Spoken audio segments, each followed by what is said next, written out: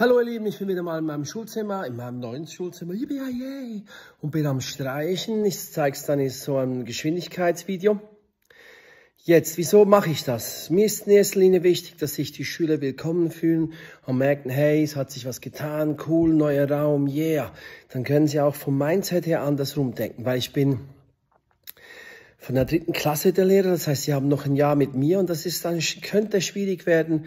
Aus diesem Grunde versuche ich so viele Missgeschicke zu vermeiden, wie es nun geht. Zweitens, ich versuche Schule anders zu denken. Ich verschule, ich versuche die Schule so zu denken, dass sie für die Kinder ist. Nicht für den Stoff, nicht für den Lehrplan, sondern für die Kinder, damit die Kinder was lernen können.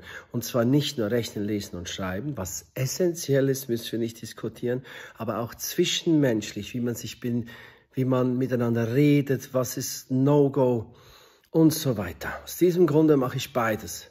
Mindset mit Streichen und andere Stühle. Wir haben ja dieses Wabenmuster. Solche großen Waben bauen wir, sechs Stück an dieser Wand, damit man sich wirklich auf sich konzentrieren kann.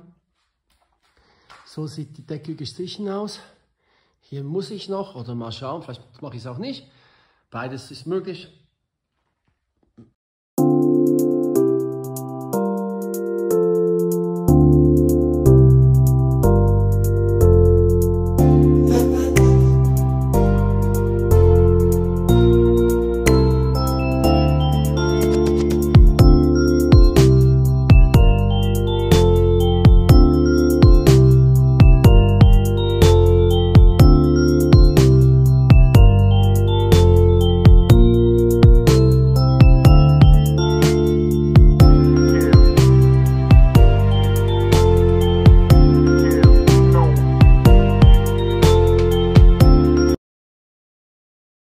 Also das geht an alle Lehrer da draußen. Hey, seid mutig, seid kreativ, ihr schafft das. Ihr müsst nicht den alten Pfad treten, treten, treten und euch nicht wohlfühlen. Nee, denkt neu, denkt Schule neu, für die Kids, für die Schüler, für unsere Zukunft, weil die Kids sind unsere Zukunft.